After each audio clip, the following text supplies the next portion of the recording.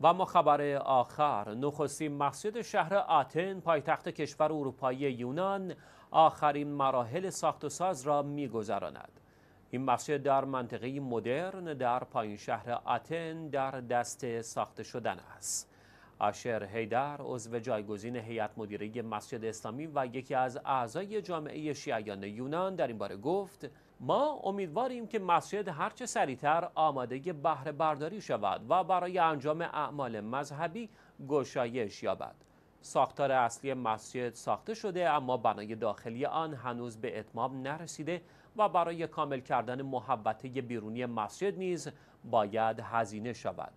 مسجد در حال حاضر مناره ندارد اما یک فضای بزرگ برای عبادت جداگانه زنان و مردان در آن در نظر گرفته شده است.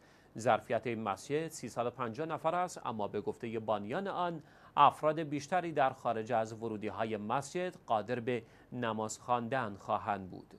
این مسجد که در منطقه ووتانیکوس واقع شده و نخستین مسجد رسمی در آتن است قرار بود در سال 2017 میلادی افتتاح شود.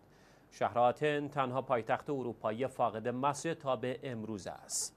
در واقع آتن از سال 1833 تا کنون و زمان پایان امپراتوری عثمانی در یونان مسجد مستقل و رسمی نداشته است.